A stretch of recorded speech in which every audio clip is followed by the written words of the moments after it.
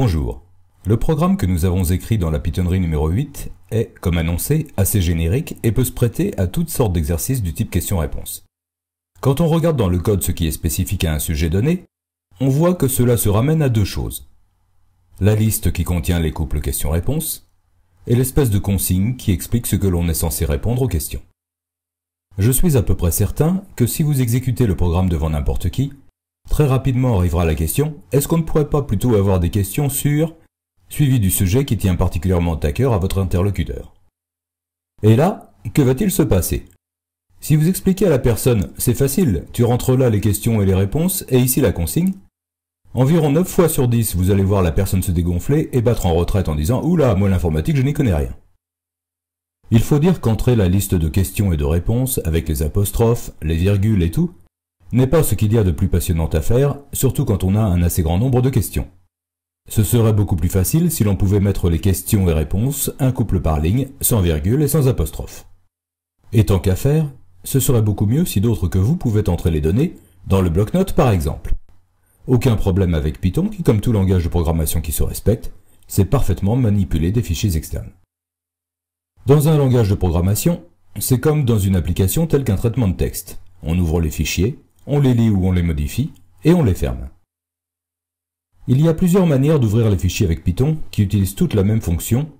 Je vous montre la manière recommandée qui est de créer un bloc qui commence par with, qui veut dire avec. La fonction qui ouvre le fichier s'appelle open, qui justement veut dire ouvre. Elle prend deux arguments. Le premier est le nom du fichier à ouvrir, et le deuxième dit ce que l'on veut en faire. Si l'on veut simplement lire des données, ce qui est notre cas, on mettra R, l'initiale de read qui veut dire lire. Si l'on veut écrire un nouveau fichier, ou réécrire un fichier existant, on mettra W comme write qui veut dire écrire. Si l'on veut rajouter des choses à la fin d'un fichier existant, ce sera A comme append, et ajoute accessoirement. Si l'on veut à la fois lire et en plus réécrire dans le même fichier, ce sera R+. As signifie en tant que, et f est le nom que je donne à un nouveau type d'objet, un fichier ouvert. Encore une fois, je n'essaie pas de tout vous montrer, mais de vous expliquer sur des cas simples comment les choses marchent. Lire un fichier composé de lignes est assez simple. Tout d'abord, constituons notre fichier. Comme je vous l'ai dit, tout ce qui a besoin de changer, c'est la consigne et la série de questions et réponses. On va dire que notre fichier contiendra la consigne sur la toute première ligne, et les questions et réponses sur les lignes suivantes. Par exemple, nous allons dire quelque chose comme Quel est le prénom de cet auteur célèbre? Avec des questions et des réponses séparées par deux points sur les lignes qui suivent.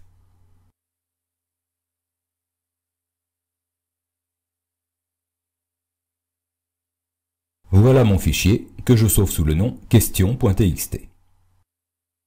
Revenons à Python. Comme nous l'avons juste vu, je vais donc ouvrir mon fichier question.txt avec la fonction open. f est un fichier ouvert, et tout comme le texte ou les listes, un fichier ouvert est associé à des méthodes. Celle qui nous intéresse tout particulièrement dans ce cas est la méthode readLine, qui ne prend aucun paramètre et retourne, sous forme de chaîne, la ligne qui est lue. Je vais mettre le résultat de la méthode dans la variable consigne. Je ne vais pour l'instant lire que cela. J'affiche ce que j'ai lu, il y a une méthode qui s'appelle close pour fermer le fichier, mais avec with, je n'en ai pas besoin, sortir du bloc ferme automatiquement le fichier. J'affiche un message quelconque derrière, par exemple consigne lu, je sauvegarde mon fichier dans le même répertoire où j'ai déjà mis question.txt, et je le lance. Manifestement ça marche. Mais je ne sais pas si vous remarquez quelque chose de bizarre. La ligne blanche. Je n'ai pas demandé à Python d'imprimer une ligne blanche. En fait, il faut savoir que quand on passe à la ligne dans un fichier, on rentre un caractère invisible, le caractère passage à la ligne. Quand Python lit la ligne, il lit tout jusqu'à et y compris le caractère passage à la ligne. Quand il affiche la variable, il affiche aussi ce caractère. Comme après un print il passe à la ligne, on se retrouve d'abord avec le passage à la ligne lu dans le fichier, puis le passage à la ligne du print, et l'on se retrouve avec une ligne blanche.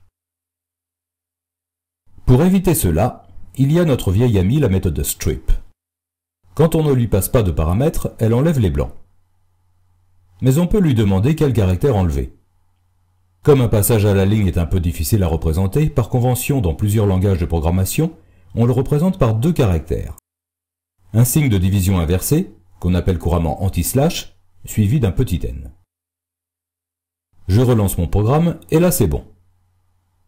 Au passage, quand on veut écrire dans un fichier, ouvert avec par exemple un paramètre W ou A, on utilise la méthode write, qui ne retourne rien mais prend comme paramètre le texte que l'on veut écrire. Et là, il faut terminer la ligne par le signe de division inversé et le petit n. Retournons à question.txt. Je peux m'attaquer aux questions, toujours dans le bloc with où le fichier est ouvert.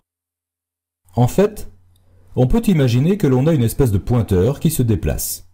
Quand on ouvre le fichier, il est au début, et à chaque fois que l'on lit une ligne, il avance.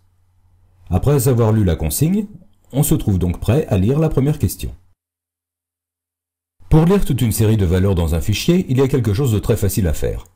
Vous vous rappelez peut-être comment, avec for, on peut mettre successivement dans une variable tous les éléments d'une liste. On peut faire exactement la même chose avec un fichier. Je vais donc créer une liste vide, et je boucle sur le fichier, rajoutant chaque ligne lue, dont j'élimine soigneusement le passage à la ligne, à ma liste. J'élimine aussi les blancs parce que, comme je dois comparer à ce que l'utilisateur entre, je dois être certain que mes données sont bien propres.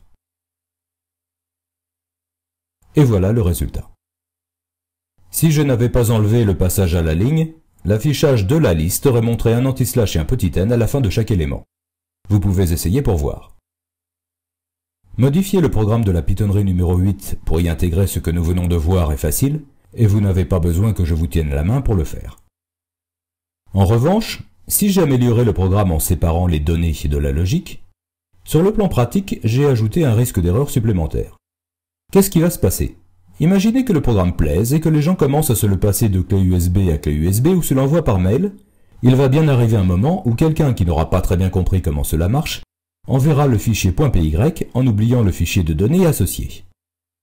Autrement dit, l'absence du fichier de données est une éventualité à prendre en compte dans le programme. Et si je lance le programme sans le fichier attendu, je l'ai renommé, ce que l'on obtient est assez effrayant pour le non-initié. La question est, peut-on rendre le message d'erreur à la fois moins barbare et plus explicite pour quelqu'un qui ne connaît rien à Python? La réponse est oui, vous auriez été surpris du contraire. Quand on lance une opération qui a des risques d'échouer, on la met dans un bloc qui commence par try, qui signifie essai, comme ceci. Ce bloc va être suivi de deux blocs.